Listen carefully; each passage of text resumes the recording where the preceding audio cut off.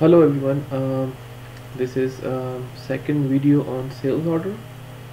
I have created a video on item proposal. And um, so and I have created a video on sales order. So I'm going to insert item proposal in sales order. So uh, you can refer back to the item proposal video and take a look how to create one. Actually I can I'll show it very quickly in this video too. So to create sales order it is VA01 T is and it's uh, OR standard order type. Uh, sold to party 1032 we're going to use. And um, to propose item list into your sales order we need to have item proposal list already been created so we are going to create item proposal list. Is T code for that VA51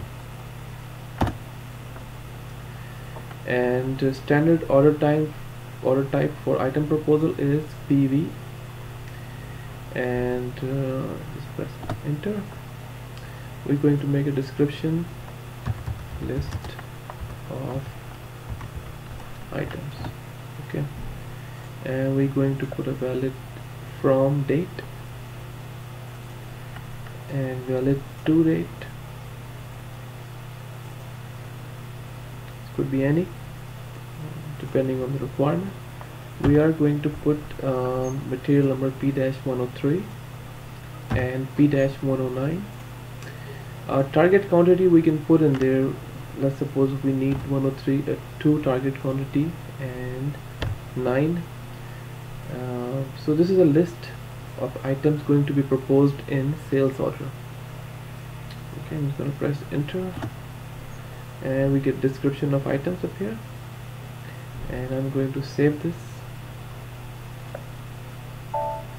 So now we get this item proposal has been saved. This is the number. I'm going to get this number up here. Control copy.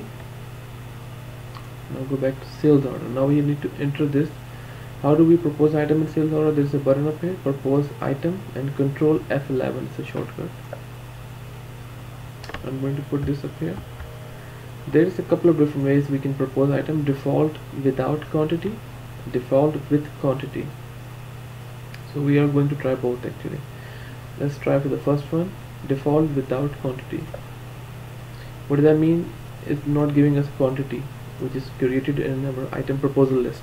So we can enter our own quantities if you want to.